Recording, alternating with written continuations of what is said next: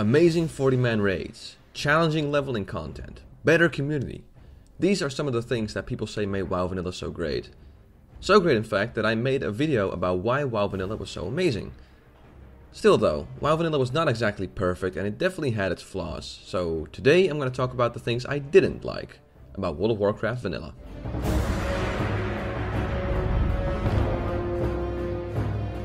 Let's dive right into it with number 1 certain specs that weren't viable.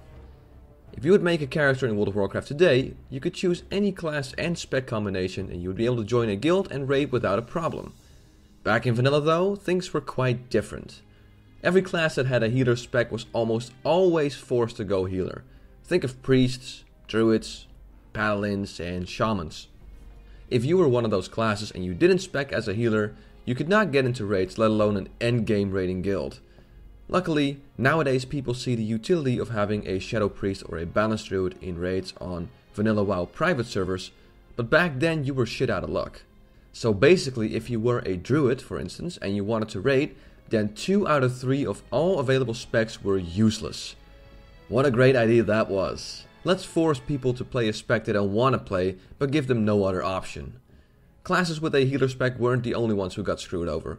Back in vanilla you had raids such as Molten Core and the mobs in Molten Core were resistant to fire damage, which, to be fair, makes sense, but it meant that as a mage you were forced to go Frost or Arcane Frost. All other options such as Full Fire or Arcane Fire were completely useless. Yeah, told you WoW Vanilla wasn't perfect. Number 2. The weird items. There were many items in WoW Vanilla that just left me scratching my head in confusion. Leather items clearly aimed towards rogues and feral druids that had spirit. The dungeon sets for clothies that didn't have any spell damage, spell crit or spell hit. The weird set bonuses that were sometimes completely useless. There's actually so much wrong with the gear in WoW Vanilla that I decided to make a separate video about that altogether, so stay tuned for that. Speaking of gear, let's move on to number 3, the loot that dropped in raids. Now, when Blizzard released Zul'Gurub, they decided to make the bosses drop tokens rather than the actual items. These tokens could be used by multiple classes, thus limiting the chance of items dropping and then no one actually needing it. It was a great idea from Blizzard. It's just too bad that they didn't come up with that earlier because in raids such as Molten Core and Blackwing Lair, this wasn't the case. Yeah, in those raids you had the actual tier items dropping, which resulted in all kinds of problems. First of all, you had Paladin gear dropping for the Horde faction and Shaman gear dropping for the Alliance faction. And remember, this was back when the Horde didn't have Paladins and the Alliance didn't have Shamans. So imagine this. You're in a Horde guild with your level 60 Druid, and you're in Blackwing Lair. You got to Chromaggus with your raid, and after many tries, your guild finally kills that nasty ass dog. Everyone rushes over to the corpse, anxious to see what gear it dropped. Did it drop the tier 2 Stormrage shoulders that your druid wants? Oh wait, no. It dropped the Judgment Shoulders. Does anyone need those? Oh yeah, that's right. We're Horde, we don't have Paladins. Guess we'll just have to disenchant this shiny new loot right away and come back next week and pray we get some loot that someone actually needs. Second of all, the raids were all 40 men apart from Zul'Gurub and the Ruins of Ahn'Qiraj. So those few items that dropped from each boss had to be distributed over 40 people. How do you like that? First of all, we have actual items dropping instead of tokens, so there's a bigger chance of useless crap dropping.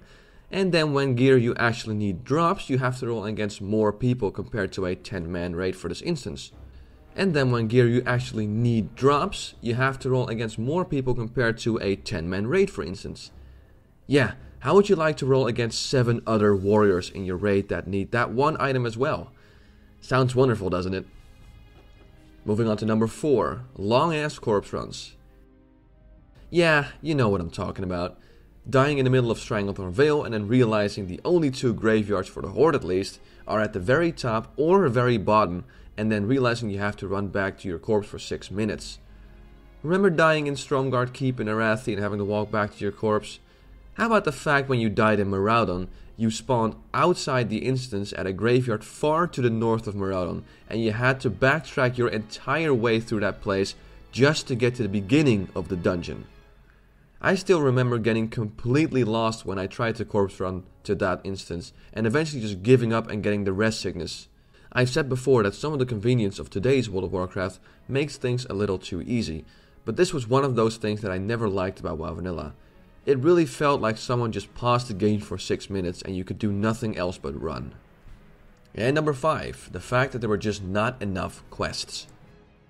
Now, don't get me wrong, some people argue that grinding for experience is part of the whole MMO experience and looking at similar games at that time, I would say that that is a fair argument. However, it doesn't change the fact that it was still very annoying.